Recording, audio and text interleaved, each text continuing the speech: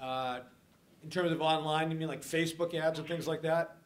Yeah, the kind of online, um, advertising, yeah. Yeah, social media is a, is a troublesome spot for us. Um, It's hard to know where to start and where to end. Um, I'm not, I'm, I'm not inclined to try to regulate Twitter.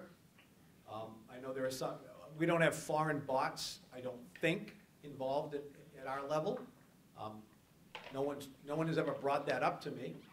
Um, But I would mention, by the way, just to give credit where credit is due, although Ellen has, has played a large role in this, it was really Ann Ravel, uh, who's from California, who was a former FEC commissioner, that's the one that first sounded the alarm on this.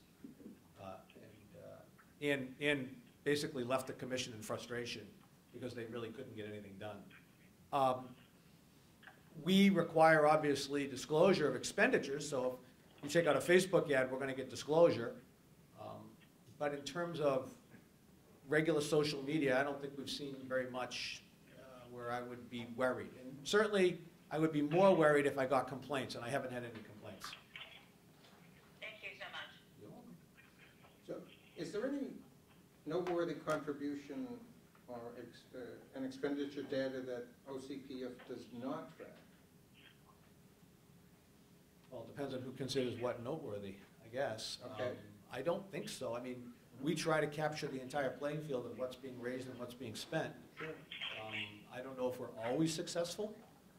Um, And I'll give you an example, one of the systems that we have um, in terms of disclosure is called the depository system, and banks are involved, and all activity is supposed to go through the bank, through that bank's checking account. If it doesn't go through the account, we're not gonna capture it. And we've had a number of cases where we've uh, brought people in and said, you know, your account says you've only spent two hundred bucks, but there are signs all over the county, what's up? And they'll be like, oh, I- yeah, I spent twenty grand at the printer. Yeah, but it didn't go through your account, and it wasn't disclosed, so we need to talk about that. But that's got nothing to do with coordination. So, did you earlier say that a party, a state party, a party could contribute uh, any amount in kind? In kind, sure, yeah. So does that mean a party could, could give you ten thousand signs to put up? Yes, absolutely. Okay. If you look at, if you look at, um, take a look at the year-end reports for any statewide, well, any gubernatorial statewide candidate over the last 12 years roughly. And you'll see on their year-end report, they will list a telephone number in terms of what in-kind contributions are from the state party. 2.7 million or whatever the number might be. Um, And that's because parties can raise money at $5,000 uh, per person. So if you give five thousand dollars to the party committee, the party committee more than likely is gonna use it to try to get their standard bearer elected.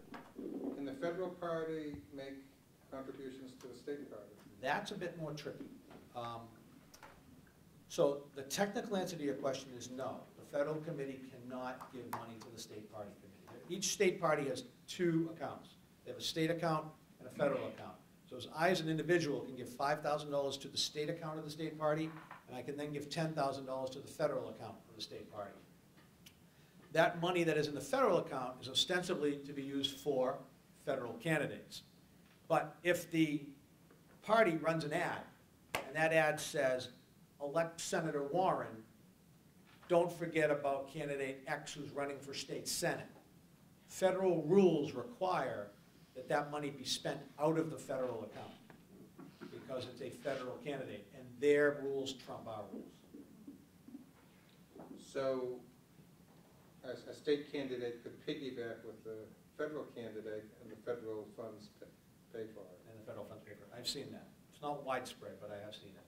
And it's up to the, I mean, the parties know this, right? So they, they know how to do it, and they're, they're not gonna do it for just anybody.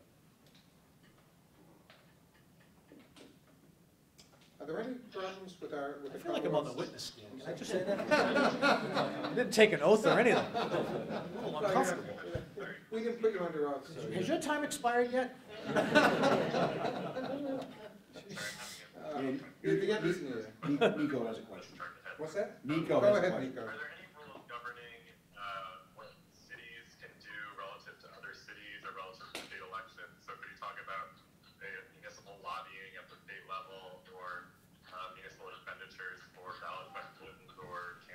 No, There are some cities that have tried, I don't know anything about the lobbying end of the deal, I don't, I don't deal with that at all. I, I, I read somewhere uh, in the Globe the other day that you now have to register as a lobbyist in, in Boston, but I don't know the first thing about it other than what I saw in that story. Um, some cities and towns occasionally will call us and tell us that they want to enact their own campaign finance law. We tell them to talk to their uh, city solicitor or their town council. And if they're going to do a bylaw, to go to the Attorney General's office, their local government division, and make sure that whatever they want to do passes muster. Is that, is that helpful? Yeah, but I just have a question about cities acting in their own interest. So there are ballot questions that affect cities, cities lobby at the state level and the state house. Uh, how is that regulated? Uh, There are no limits, if I understand your question correctly, there are no limits for, for uh, ballot questions at any level, state level or local level, nor could they be put in constitutionally uh, under uh, the case, I believe, is Mass Citizens for Life versus, no, Bank, Bank of America versus Bellotti. Um, I think is the one that talks about ballot questions. Uh, And in turn, again, in terms of the lobbying at the state level and what they do, I, I don't know anything about that. Okay, thank you. You're welcome. Other questions? Is there any other, Mike, uh, go ahead. this has been very educational, and, you know, I think we want to uh, continue the dialogue. So, any thoughts or advice that you might give to uh, this commission, and I guess most specifically, you know, the subcommittee that we, uh, that you heard us just, uh, you know, set up, uh, doing further research and fact-finding, Uh, any suggestions of how we might proceed? I think it wouldn't hurt you to invite in for conversation, maybe not testimony, some of the, and I don't know if they'll come, but some of the folks who actually do the raising and the spending. You can probably get, you know, the data from what corporations or what super PACs uh, they're from, and they might be willing to have a conversation with you about it uh, and how they do what they do. I'm not, I'm not, you know, on the front line devising a firewall to ensure that OCPF doesn't come after me because on the one hand, you know, we gave a candidate money and on the other hand, we want to do an independent expenditure for him or her. But I think it's important, you know, it's great to talk to bureaucrats, and, and I'm a proud bureaucrat and been there a long time, but I'm, I haven't been on the front lines in a campaign in an awful long time, uh, which by the way is wonderful. I haven't written a campaign check in 32 years, um, and don't intend to do it anytime soon. But if you don't talk to them, I think you're missing an opportunity to make sure that you understand the entire depth of the issue. Mm-hmm.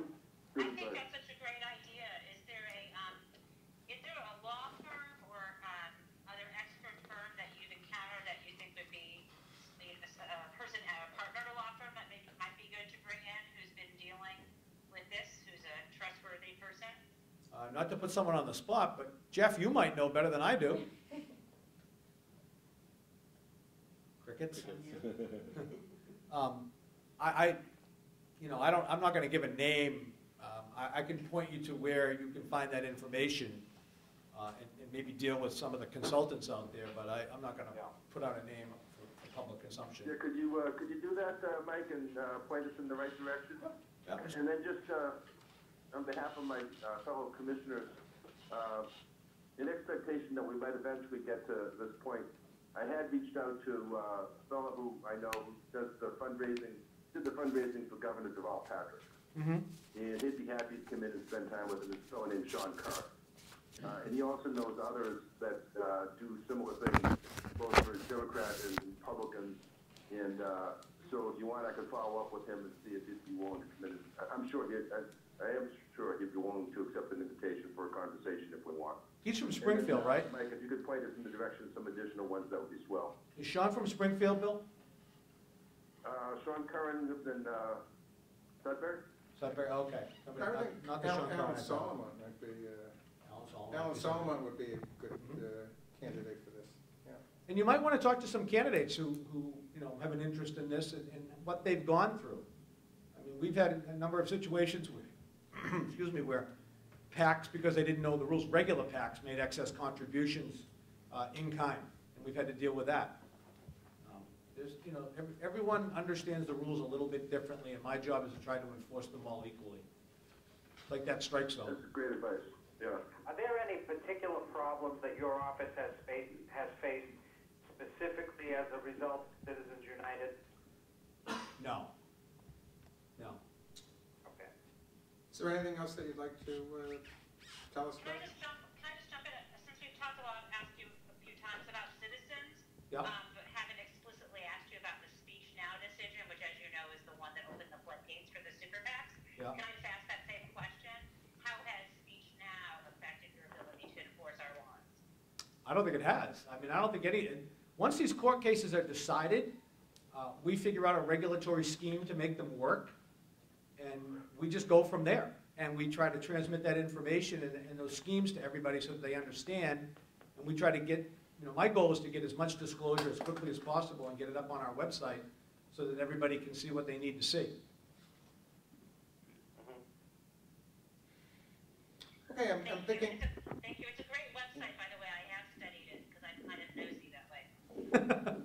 yeah, I'm thinking you. now we might, we might want to move on to get some public testimony. We have a full room of. Can I just ask one more thing before Mike Okay. comes away here? So, Can you just give us a sense from your point of view how your office thinks about quid pro quo corruption? How, when you say how we think about it, I mean, we, we think it's illegal. Um, Right, but I mean, how, how would you define it? Is it one of those things that, you know, you, you know it when you see it? Or uh, how, how do you, how do you um, determine whether or not you've in fact encountered a situation of quid pro quo corruption? Um, Well, no one's ever going to admit that to me, and I don't, I don't think I've ever really seen it, but, and it is a case, you know, I don't focus on the next result. I focused on the first result. I think the next result, that the quid pro quo stuff is where the AG would get involved. If I thought that the money was given for the purpose of getting some kind of a vote, um, I would probably immediately refer that to the AG. Because that's our big stick, you know. I- A lot of people think that we can actually do the fining. We can't. All of the fines that we do are negotiated settlements, because our big stick is to refer something to the AG for prosecution.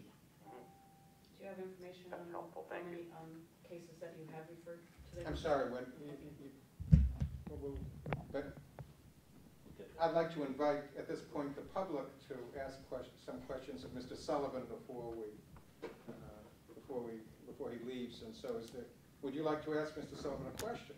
Sure, I was just wondering if that's doc- documented for the public, what cases that you have referred to the AG? Um, All the cases that have been resolved are on our website, um, I think.